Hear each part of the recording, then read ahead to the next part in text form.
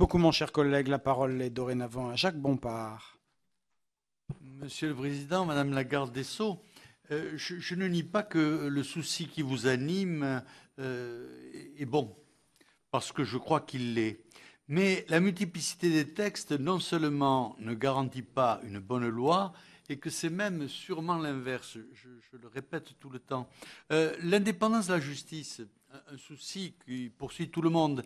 Euh, alors là, on, met la justice euh, à l'abri de l'État, mais on ne le met pas à l'abri des puissances politiques, on ne le met pas à l'abri de tous les autres groupes de pression, les coteries, les réseaux, les syndicats, les médias, le conformisme ambiant, la puissance financière. Et on ne le peut pas.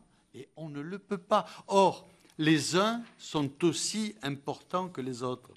En matière de services publics, de la justice à l'impartialité insoupçonnable.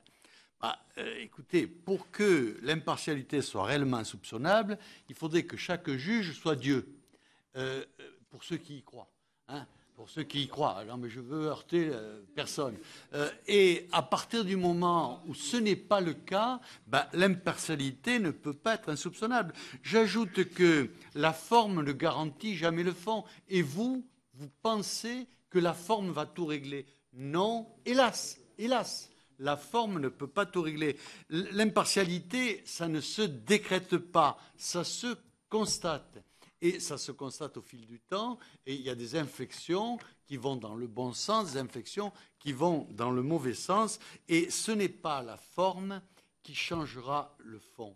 Donc euh, l'intention, certes, est louable, mais le résultat nous désespérera.